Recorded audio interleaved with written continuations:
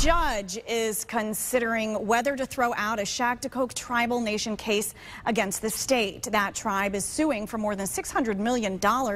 It says the state took 2,000 acres of its land in the 1800s, then sold it, but never compensated the tribe. The state has filed a motion to dismiss based on government immunity.